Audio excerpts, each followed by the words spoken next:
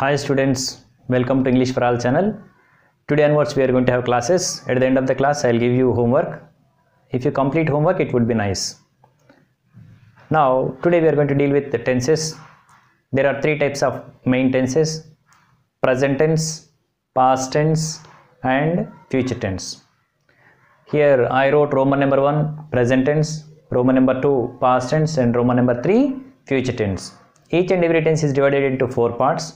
In present tense you will find simple present, present continuous, present perfect and present perfect continuous tense. Whereas in simple in past tense you will find four parts like simple past, past continuous, past perfect and past perfect continuous tense. In future tense also we have same four parts simple future, future continuous, future perfect and future perfect continuous tense.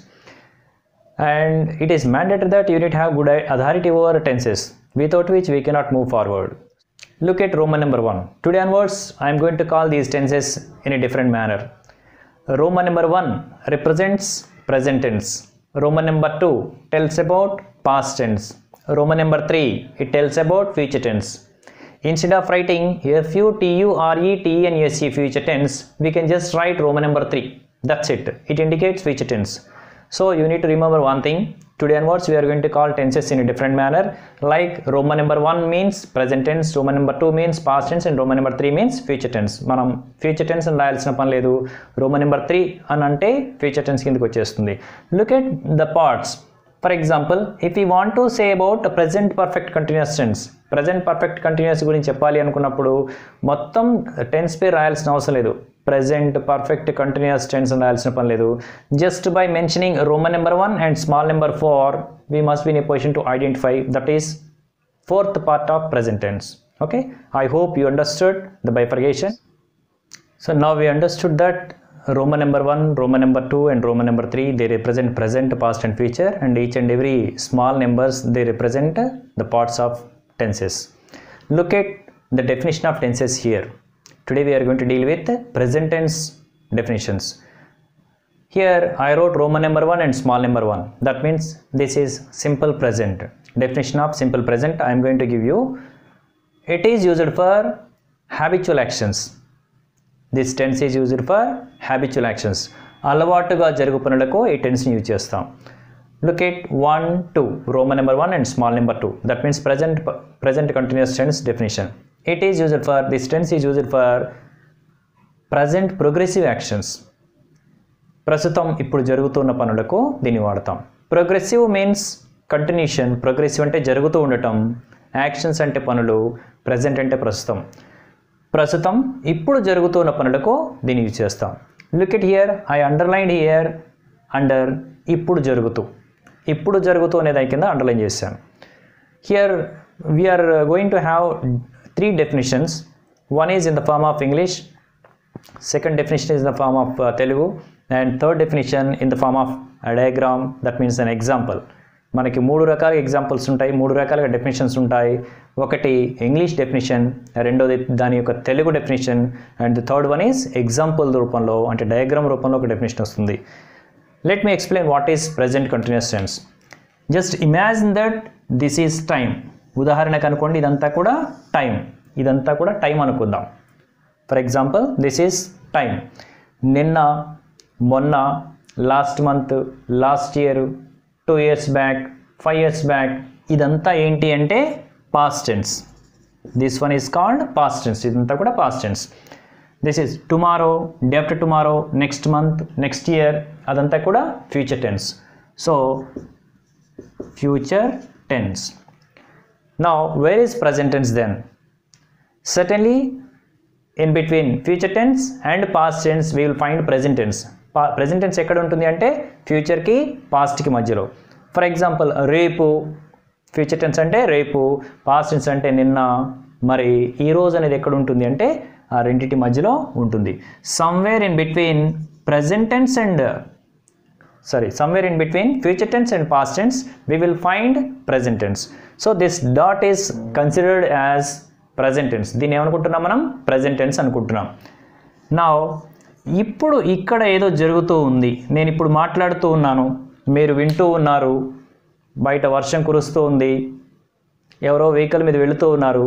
అట్లా ఇప్పుడు ప్రస్తుతం ఇక్కడ జరుగుతున్న విషయాలు చెప్పాలి అంటే it is mandatory that we have to depend only on present continuous tense ఇలాంటి actions జరిగినప్పుడు మనం చెప్పాల్సిన టెన్స్ ఏది అంటే one two Roman number one and small number two that means present continuous tense look at the third one that is present perfect tense it is used for just before completed actions just before completed actions ఇంతకు ముందే జరిగిన విషయాలకు Telugu meaning చూద్దాం. ఇంతకు ముందే జరిగిన పనులకు I underlined under ఇంతకు ముందే. ఎక్కడ అండర్లైన్ చేశాను నేను? ఇంతకు ముందే అనే పదం కింద అండర్లైన్ చేశాను. ఇంతకు ముందే జరిగిన పనులకు దీన్ని యూజ్ చేస్తాం. ఉదాహరణకి look at diagram example you already know that this is time ఇదంతా కూడా టైం అనుకుంటున్నాం మనం. This is past tense this one is future tense okay? This is past tense and that one is future tense. In between we will find present tense. Good. ఇంతకు ముందే జరిగిన విషయాలు. ఉదాహరణకి నేను ప్రజెంట్ కంటిన్యూస్ టెన్స్ ఎక్స్ప్లెయిన్ చేశాను. నేను present continuous tense explain చేశాను. Am I explaining present continuous tense now నేను ఇప్పుడు ఎక్స్ప్లెయిన్ చేస్తూ ఉన్నానా? ప్రజెంట్ కంటిన్యూస్ టెన్స్ నేను ఇప్పుడు ఎక్స్ప్లెయిన్ చేస్తూ ఉన్నానా? లేదు. ఎప్పుడు ఎక్స్ప్లెయిన్ చేశాను? ఇంతకు ముందు ఎక్స్ప్లెయిన్ చేశాను. ఆ సంఘటన ఆ ఎక్స్ప్లెయిన్ చేయటం అనే సంఘటన ఎప్పుడు జరిగింది? అటువైపు జరిగి ఉంటుందా? ఇటువైపు జరిగి ఉంటుందా?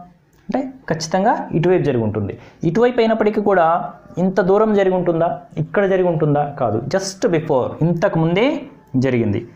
So that action took place here am I keeping dot now నేను ఇప్పుడు ఇక్కడ డాట్ని యూజ్ చేస్తున్నానా? డ్రా చేస్తున్నానా? Am I drawing dot now no I already drew it నేను ఆల్రెడీ పెట్టేశాను ఇక్కడ. ఈ ఇక్కడ ఈ డాట్ పెట్టడం అనే సంఘటన ఈ డాట్ పెట్టిన పెట్టడం అనే సంఘటన ఎంతసేపటి క్రితం జరిగింది? జస్ట్ బిఫోర్ అట్లా ఇంతకు ముందే ఏమైనా జరిగినట్లయితే మన లైఫ్లో we have to use only present perfect tense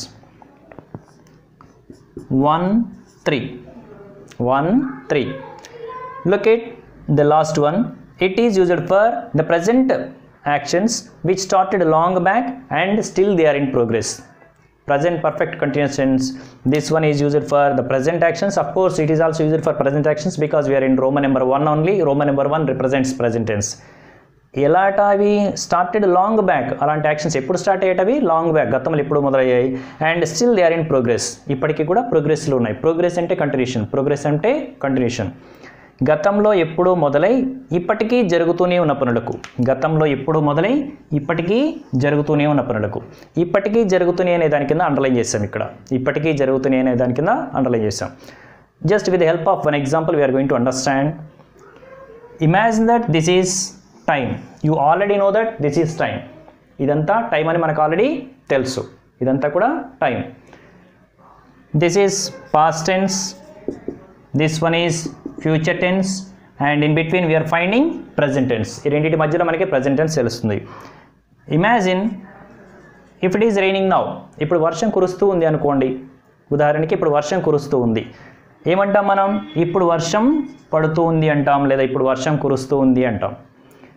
ఉదాహరణకి నిన్న వర్షం మొదలైంది. తుఫాన్ ఉండటం వల్ల వర్షం నిన్న స్టార్ట్ అయింది. నిన్నటి నుంచి కురుస్తుంది. వర్షం ఎప్పుడు స్టార్ట్ అయింది అనుకుంటున్నాం మనం? నిన్న స్టార్ట్ అయింది. నిన్న అంటే సమ్వేర్ హియర్ పాస్ట్ టెన్స్లో ఇక్కడ సమ్వేర్ నిన్న మొదలైన వర్షం నిన్నటి నుంచి కురుస్తూ ఉంది.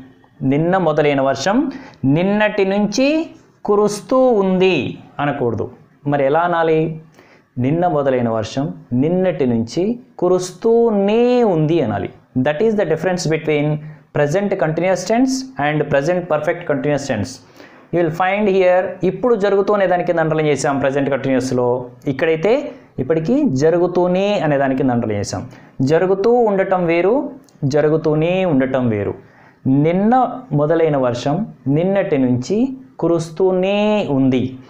ఇలాంటి సంఘటనలను మనం చెప్పాలి అంటే we have to depend only on one tense that is present perfect continuous tense in entire English if at all we want to say these type of actions ఇలాంటి సంఘటనలు మన లైఫ్లో జరిగినప్పుడు చెప్పడానికి ఒకటే ఒక టెన్స్ ఉంటుంది. ఆ టెన్స్ ఏంటి అంటే ప్రజెంట్ పర్ఫెక్ట్ కంటిన్యూస్ టెన్స్ మన లైఫ్లో జరిగే ప్రతి సంఘటనకు కూడా ఒక టెన్స్ ఉంటుంది. It is mandatory that we have use that tense only or else we cannot express our feeling perfectly so జరుగుతూ ఉండటం వేరు జరుగుతూనే ఉండటం వేరు.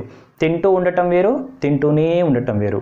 క్లాస్ వింటూ ఉండటం వేరు వింటూనే ఉండటం వేరు. ఆడుతూ ఉండటం వేరు ఆడుతూనే ఉండటం వేరు. టీవీ చూస్తూ ఉండటం వేరు టీవీ చూస్తూనే ఉండటం వేరు. సో ఆ రెండింటి మధ్య ఉన్నటువంటి మేజర్ డిఫరెన్స్ ఈ విధంగా ఐడెంటిఫై చేయాలి. So far vendors understood definitions of all present ends simple present present continuous present perfect and present perfect continuous tense.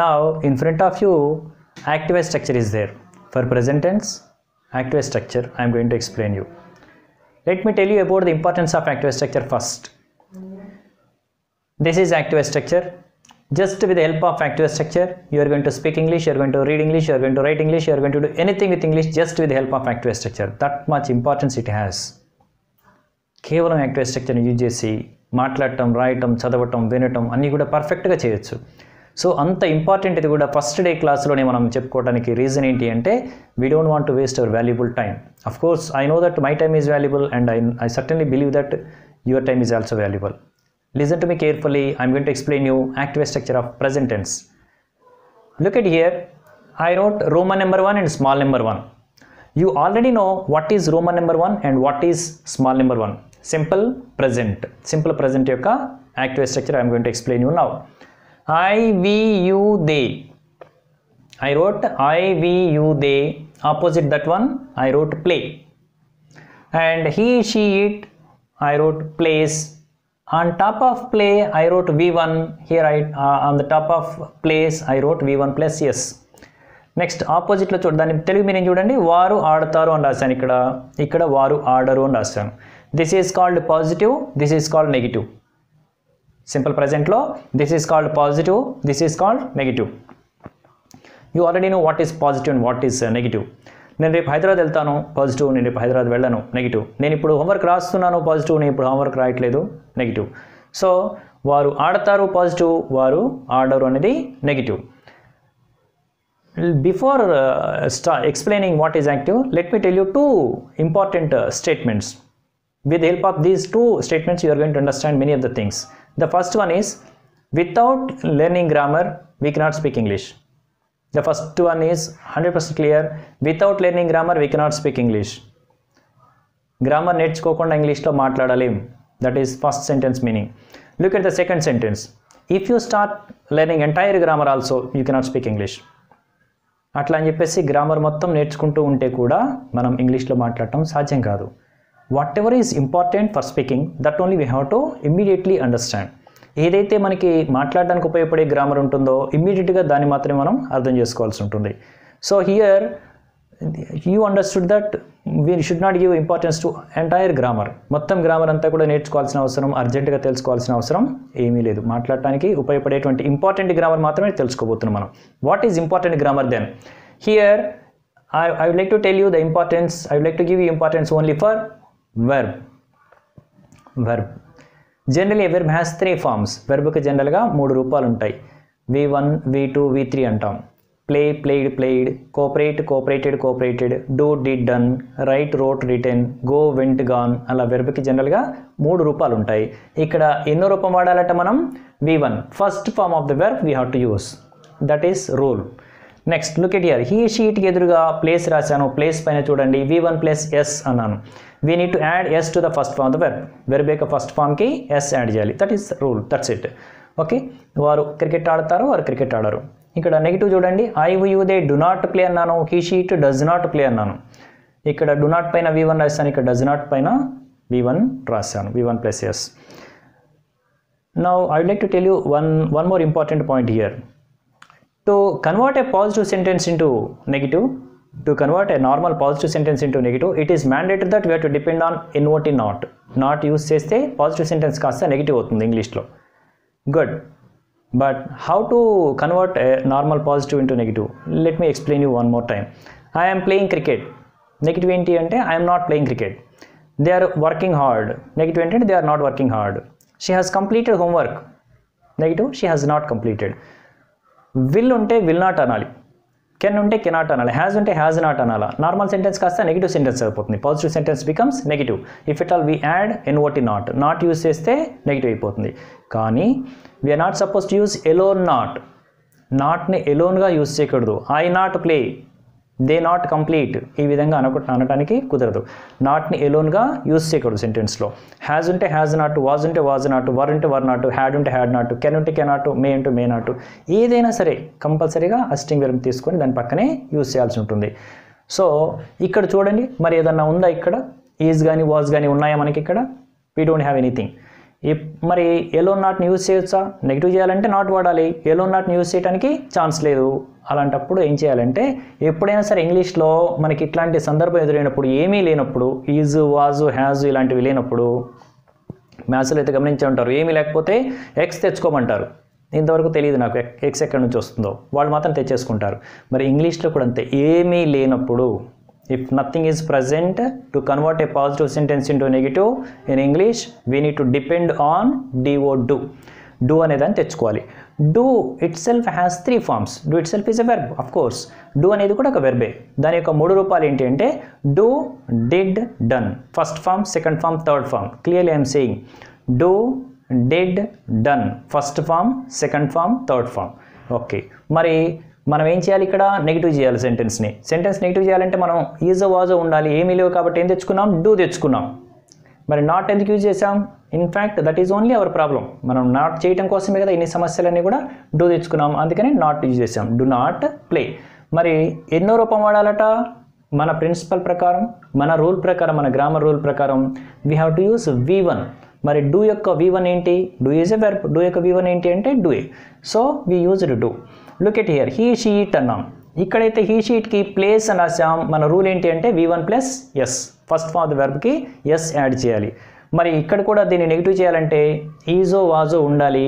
ఏమీ లేదు. ఏమీ లేనప్పుడు మనం తెచ్చుకోవాల్సింది ఏంటి అంటే డూ క్లియర్గా మళ్ళొకసారి రిపీట్ చేస్తున్నాను. If at all we don't have anything in the sentence to convert that particular sentence into negative it is mandatory that we have to depend on do D O do అనే దాని మీద depend అవ్వాలి. మరి ఇక్కడ ఏమీ లేదు కాబట్టి do తెచ్చుకున్నాం.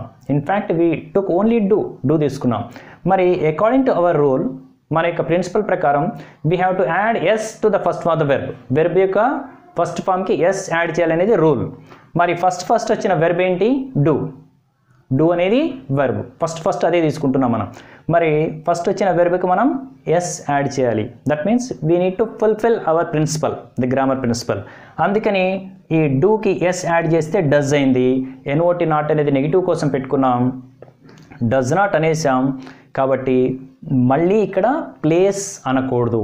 మళ్ళీ ఎస్ యాడ్ చేయకూడదు. This is one of the important aspects you have to pay more concentration to understand this one does not plays అని మళ్ళీ ఎందుకు అనట్లేదు? ఇక్కడ ప్లేస్ అన్నాం కదా ఇక్కడ ప్లేస్ ఎందుకు అనట్లేదు?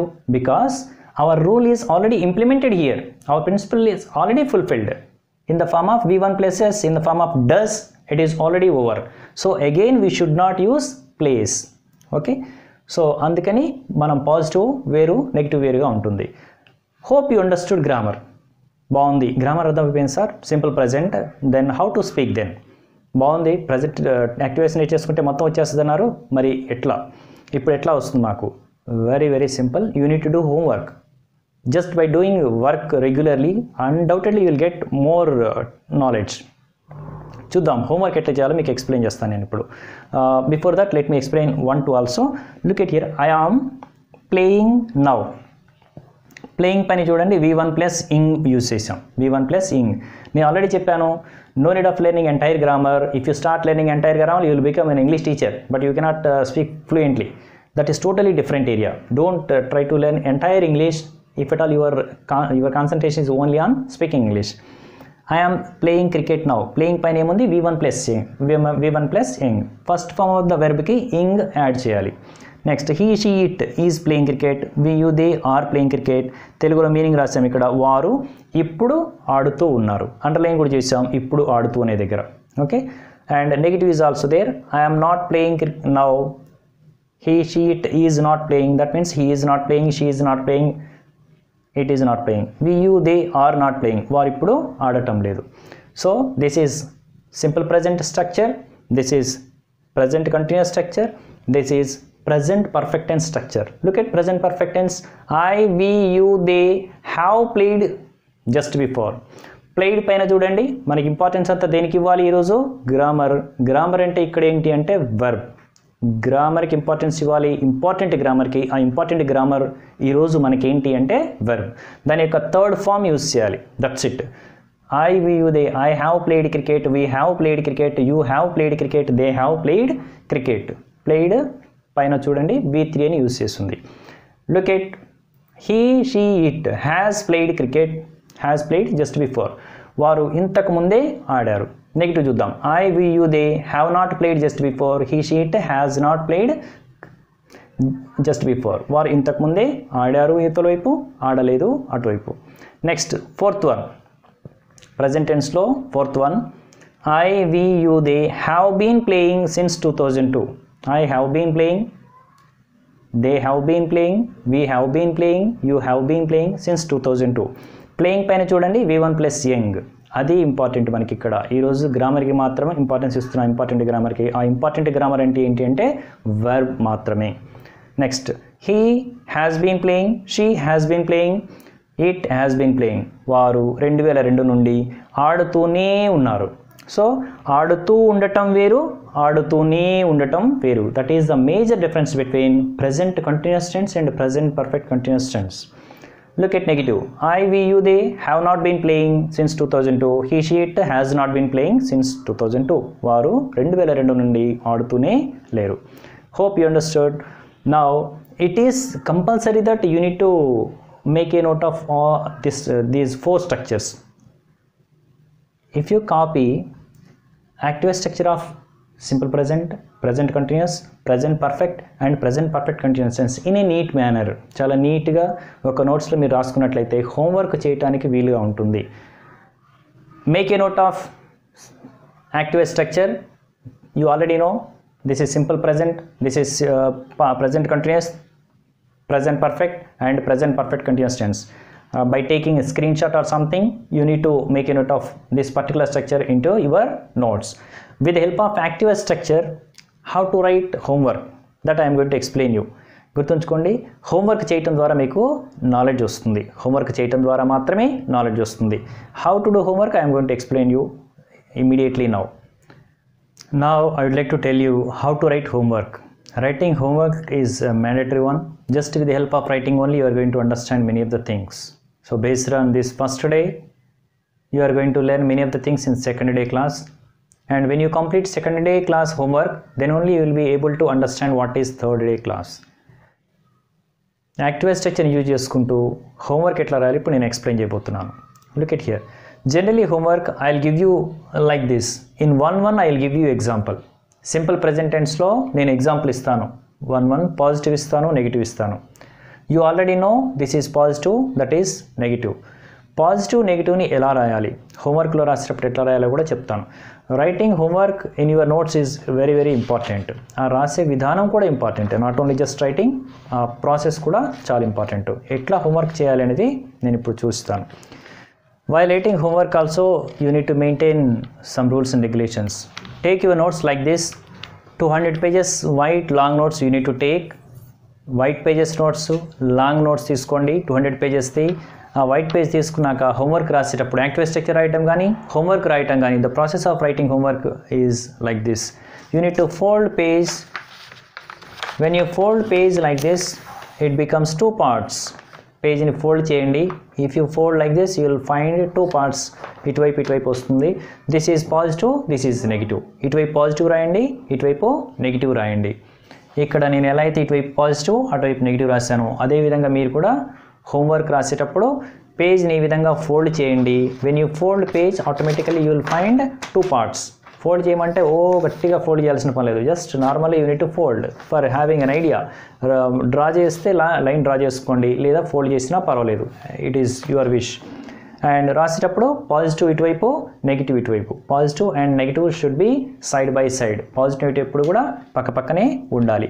వైట్ పేజెస్ నోట్స్ తీసుకోవాలి లాంగ్ పేజెస్ తీసుకోవాలి. మనం హోంవర్క్ రాసేటప్పుడు పాజిటివ్ ఇటు పక్కన నెగిటివ్ ఇటు పక్కన ఉండేటట్టు చూసుకోవాలి. ఓకే నా look it here this is an example sentence they conduct exams conduct is a verb కండక్ట్కి మూడు రూపాలు ఉంటాయి conduct conducted conducted conduct conducted conducted వారు ఎగ్జామ్ కండక్ట్ ఎగ్జామ్స్ కండక్ట్ చేస్తారు. రాసేటప్పుడు తెలుగు మీనింగ్ ఇంగ్లీష్ కంపల్సరీగా మొత్తం రాసేయండి. Why writing Telugu meaning you need give importance only at the end of a Telugu sentence Telugu sentence ఎండింగ్కి మాత్రం importance ఇవ్వండి. ఎందుకంటే Telugu సెంటెన్స్లో meaning ఎప్పుడు చివరిలో ఉంటుంది. ఇంగ్లీష్ సెంటెన్స్లో మీనింగ్ ఎప్పుడు బిగినింగ్లో ఉంటుంది. These are called blind rules ఒకసారి చూద్దాం.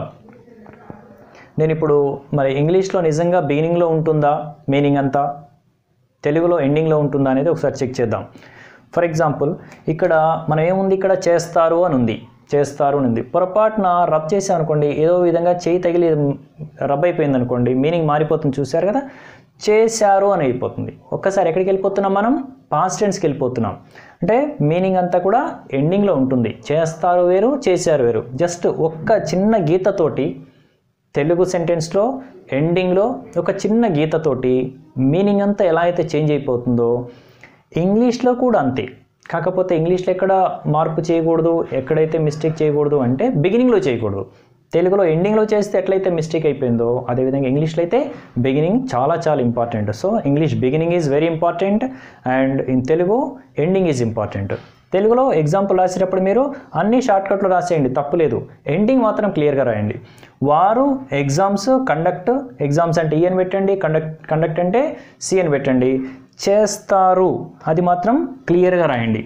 ఎండింగ్ మాత్రం తెలుగులో చాలా క్లియర్గా రాయండి. Negative they do not conduct exams వారు ఎగ్జామ్స్ కండక్ట్ చేయరు. ఓకే ఇది జనరల్గా నేను ఇచ్చేటువంటి హోంవర్క్ ఇలా ఒక్క ఎగ్జాంపుల్ ఇస్తాను. దీన్ని మీరు ఏం చేయాలి అంటే యాక్టివ్ స్ట్రక్చర్ చూస్తూ మీ నోట్స్లో ఉన్నటువంటి యాక్టివ్ స్ట్రక్చర్ మీ నోట్స్లో ఆల్రెడీ డ్రా చేసుకున్నటువంటి యాక్టివ్ స్ట్రక్చర్ చూసుకుంటూ రాయాలి. చూడండి వన్ టూ రాయాలి. వన్ వన్ అయిపోయింది కదా వన్ టూ ఇలా రాయాలి? వన్ టూకి దే మన మన సబ్జెక్ట్ ఏంటి ఇక్కడ? దే. దేకి ఎదురుగా ఏముంది చూడండి? ఆర్ ఉంది. అక్కడ ఏముందంటే ఆర్ ప్లేయింగ్ అని రాస్తుంది. దే ఆర్ ప్లేయింగ్ అని రాస్తుంది. మరి ప్లేయింగ్ బదులు మన వెర్బ్ ఏంటి ఇక్కడ? కండక్ట్ ప్లేయింగ్ ప్లేస్లో మనం ఏం చేస్తున్నాం ఇక్కడ? కండక్టింగ్ అంటున్నాం. They are conducting exams now నవ్ని కూడా మిస్ చేయొద్దు. నవ్ కూడా యాజ్ ఇట్ ఈజ్ రాయండి. అక్కడ దే ఆర్ ప్లేయింగ్ నవ్ అని రాస్తుంది. ఇక్కడ మనం ఏమంటున్నాం? They are conducting exams now Telugu meaning అక్కడ ఏం రాస్తుందంటే వారు ఇప్పుడు ఆడుతూ ఉన్నారని రాస్తుంది. వారు ఇప్పుడు ఆడుతూ ఉన్నారు. మనం ఏం చేస్తాం? వారు ఇప్పుడు ఎగ్జామ్స్ కండక్ట్ చేస్తూ ఉన్నారు. తెలుగుని మార్చుకుంటున్నాం. సిచ్యువేషన్కి తగ్గట్టుగా మార్చేస్తున్నాం. నెగిటివ్. అక్కడ ఏముందంటే దే ఆర్ నాట్ ప్లేయింగ్ అని రాస్తుంది. They are not playing now అని రాస్తుంది. ఇక్కడ మన ఎగ్జాంపుల్ కండక్ట్ కాబట్టి మన ఎగ్జాంపుల్ వెర్బ్ కండక్ట్ కాబట్టి they are not conducting exams now Telugu meaning వారు ఇప్పుడు ఎగ్జామ్స్ కండక్ట్ చేయటం లేదు. వన్ టూ రాసిన తర్వాత నెక్స్ట్ వన్ త్రీ దాన్ని వన్ త్రీలో ఎలా రాయాలి? అక్కడ చూడండి. దేకి ఎదురుగా ఏముంది? హ్యావ్ ఉంది. ఇక్కడ కూడా మనం దే ఉంది కాబట్టి దేకి ఎదురుగా హ్యావ్ రాస్తున్నాం. దే హ్యావ్ అక్కడ ఏముందంటే ప్లేడ్ అని రాస్తుంది. On top of played V three అని రాస్తుంది. వెర్బెక్క థర్డ్ ఫామ్ యూజ్ చేయండి అని. కండక్ట్ యొక్క వి త్రీ ఏంటి? కండక్టెడ్ అందుకే మనం రాసాం ఇక్కడ they have conducted exams just before దీన్ని కూడా మిస్ చేయొద్దు జస్ట్ బిఫోర్ వారు ఇంతకుముందే ఎగ్జామ్స్ కండక్ట్ చేశారు. Negative they have not conducted exams just before వారు ఇంతకుముందే ఎగ్జామ్స్ కండక్ట్ చేయలేదు. Last one present perfect continuous tense they have been అక్కడైతే playing since two thousand two రాస్తుంది. ప్లేయింగ్ బదులు మనం ఇక్కడ కండక్టింగ్ వాడుతున్నాం. They have been conducting exams since two thousand two వారు రెండు వేల రెండు నుంచి ఎగ్జామ్స్ కండక్ట్ చేస్తూనే ఉన్నారు. చేస్తూ ఉండటం వేరు. మనం ఆల్రెడీ గమనించాం. చేస్తూ ఉండటం వేరు. చేస్తూనే ఉండటం వేరు. Negative they have not been conducting exams since two thousand two వారు రెండు వేల రెండు నుంచి ఎగ్జామ్స్ కండక్ట్ చేస్తూ చేస్తూనే లేరు లేదా చేయటం లేదు. That is the meaning now I'm going to give you four examples four examples ఇస్తాను. హోంవర్క్ రూపంలో నేను ఇచ్చే ఎగ్జాంపుల్స్ అన్నీ కూడా ఎలా ఉంటాయంటే వన్ వన్లో ఉంటాయి. You need to take this simple present as an example you need to convert that one into one two one three one four positive negative along with Telugu meaning Telugu మీనింగ్తో సహా పర్ఫెక్ట్గా రాయడానికి try చేయండి. When you find any difficulty nothing will happen in the comment box if you comment I will certainly give you reply and look at the homework now ఇది కూడా screen shot తీసుకోండి లేదా నోట్స్లో draw చేసుకోండి. Homework చేయడానికి మీకు ఇబ్బంది లేకుండా ఇది హెల్ప్ చేస్తూ ఉంటుంది. Look at homework now okay how to do homework as you already understood. By taking one example you need to convert that one into 1 2, 1 3, 1 4. Positive, negative along with Telugu meaning. ఎలా హోంవర్క్ని ఒక ఎగ్జాంపుల్ని మిగతా మూడిట్లో convert చేయాలనేది మనం ఇంతకుముందే చూసాం ఇక్కడ నేను నాలుగు ఎగ్జాంపుల్స్ ఇచ్చాను. హోంవర్క్ రూపంలో మీకు రాయటం కోసం I gave you four examples look at this one I ask doubts నేను డౌట్స్ అడుగుతాను. ఐ డోంట్ ఆస్క్ డౌట్స్ నేను డౌట్స్ అడగను. మీకు మళ్ళొకసారి గుర్తు చేస్తున్నాను హోంవర్క్ రాసేటప్పుడు కంపల్సరీగా పాజిటివ్ నెగిటివ్ పక్క పక్కనే ఉండేటట్టు చూసుకోండి. Take two hundred pages white long notebook take the book like this and while writing homework you need to fold the page when you fold the page you will find two parts ఒకవైపు positive రాయండి ఇంకోవైపు negative రాయండి. Okay this is positive this is negative. పక్క పక్కనే ఉండేటట్టు చూసుకోండి. Roman number one వేయండి small number one వేయండి. No need of writing simple present present continuous present perfect present perfect continuous tense. Just mention only Roman number one and small number one. And the next one is two. Next one is three. Next one is four. Okay? Like this you need to write down. ఇటువైపు మళ్ళీ వేయాల్సిన పని లేదు. నెగిటివ్లో వేయాల్సిన పని లేదు. ఎందుకని వేయాల్సిన పని లేదంటే ఇటువైపు ఆల్రెడీ వేసాం కాదు వన్ వన్ అని. కాబట్టి ఇటువైపు కూడా వన్ వన్ అనే మీనింగ్ వస్తుంది. వన్ టూ అదేవిధంగా నెగిటివ్ వన్ టూ. ఆ విధంగా ఒక ఎగ్జాంపుల్ తీసుకొని నాలుగు టెన్స్లోకి కన్వర్ట్ చేయండి. Look at this one I ask doubts నేను డౌట్స్ అడుగుతాను. డౌట్స్ ఉన్నప్పుడు డిఎన్ రాస్తే సరిపోతుంది. తెలుగు మీనింగ్ రాసేటప్పుడు తెలుగులో మీనింగ్ రాసేటప్పుడు you need to give importance only ending of Telugu sentence మొత్తాన్ని మనం తెలుగులో కన్వర్ట్ చేయాల్సిన అవసరం లేదు. అంతా షార్ట్కట్లో రాస్తే సరిపోతుంది. నేను డౌట్స్ అడుగుతాను. డౌట్స్ అంటే డిఎన్ రాస్తే సరిపోతుంది. దాన్నే వన్ టూలో రాయండి. దాన్నే త్రీలో రాయండి దాన్నే ఫోర్లో రాయండి. Positive negative along with Telugu meaning I hope you understood how to write homework and based on today's homework only we're going to have second class day two class అనేది మీరు ఈ హోంవర్క్ చేసేదాన్ని బట్టి ఆధారపడి ఉంటుంది. కాబట్టి ర్యాండమ్గా క్లాసెస్ విని ర్యాండమ్గా హోంవర్క్ చేయడానికి ప్రయత్నం చేయమాకండి. Work it sincerely no pains no gains according to psychology it is proved that whatever work we do systematically sincerely regularly for a period of 40 days certainly our mind and body habituates to do it. It is a proved fact. Scientists recently researched and uh, came to this conclusion. Uh, it is a really great fact that our indian culture already knows it. Whether you believe it or not our indian culture it knows. For that only we have dikshas mandala dikshas. Mandala means 40 days. Whatever work regularly we do for a period of mandalam that means 40 automatically we understand the inner meaning of that particular work and we will continue that work forever. So here also you need to work over a period of time so that automatically you digest everything. Hope you understood how to do homework complete the homework and we'll meet in second uh, class and subscribe the channel and press the bell button so that you'll get all the latest updates. Thank you for watching